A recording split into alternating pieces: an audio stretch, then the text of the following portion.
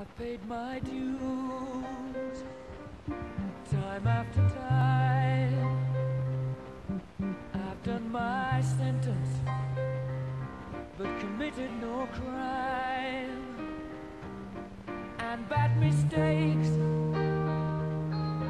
I've made a few. I've had my shells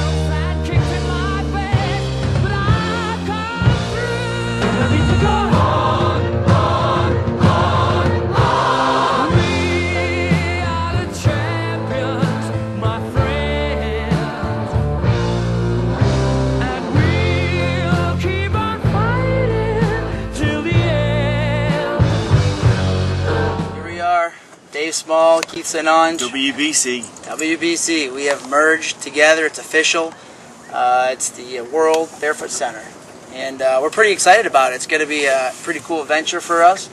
Uh, we know there's going to be a lot of challenges, but we know there's going to be a lot of uh, positives and just great things to come. So, what do you think about it, Dave? It can only be positive, can't it? We were, we've uh, we've both been competing against each other for what ten years. Yeah. To coming on ten years or something. All right. Uh, been back and forth. You winning, me winning.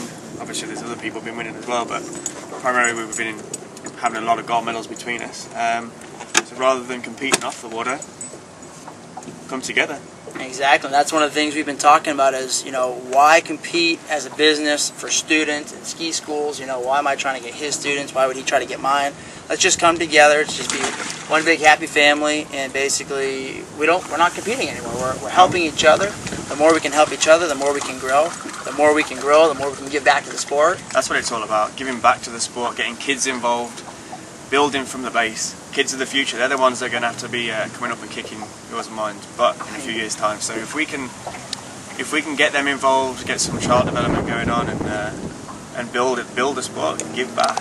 Exactly, exactly. For sure. I mean, that's something you know we, we take we take the students that we have seriously. You know, we we want to teach them the right way. We don't want to have a production factory. We don't want them in and out, in and out, and that's it. Bye, have a good day. We want to make sure they learn the right way. Take your time with them. We have some new technique, and we're gonna have probably a lot more new technique coming as Dave and I ski together and pick each other's brain. We're probably gonna come up with some pretty neat stuff. Even in the last sort of month or two, isn't it, when we've been skiing together, we've, uh, you know, you're figuring some stuff out, and I'm figuring some new stuff out, and, and together, I mean, two heads is always better than one, right? Exactly, exactly.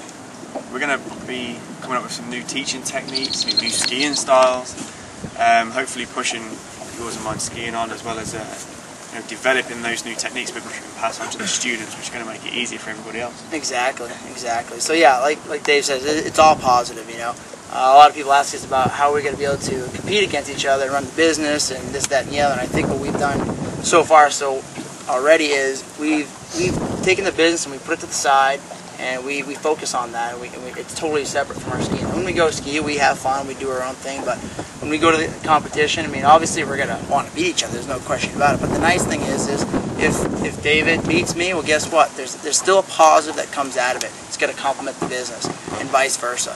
So you know, we know that we're gonna we're gonna really stay with that that focus and that motto. And uh, there's always a positive in the end. That's how we look at it. Yeah, for sure. Um, yeah, So good. WBC. yeah, let's bring it on. Congrats.